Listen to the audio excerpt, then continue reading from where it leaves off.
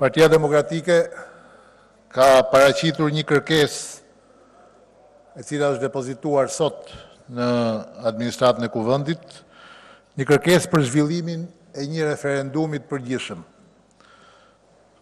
Unë do ju njoh me kërkesën dhe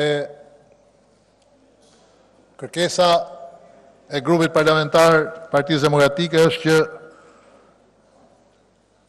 Kjo kërkesë për referendum të futet dhe të votohet sot në seancën parlamentare. Pra është një kërkesë për futje në rend ditës të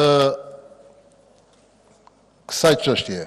Përveç paraqitjes së referendumit, ne paraqesim publikisht dhe qëndrimin e Partisë Demokratike lidhur me këtë çështje. Deputetët nënshkrues të kësaj kërkese janë kundër. Jo, ne I themi jo lejimit të importit të mbetjeve për disa arsye.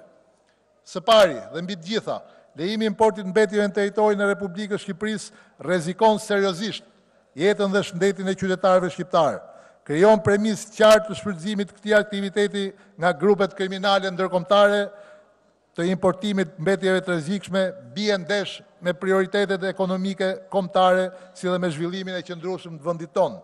Së dyti, të gjitha kushtet politike, ekonomike apo sistemi i drejtësisë në Shqipëri bëjnë që importi të jetë i rrezikshëm dhe lehtësisht të futet në dorë të grupeve kriminale ndërkombëtare të mbetjeve që kanë interes të importimit mbetjeve të rrezikshme.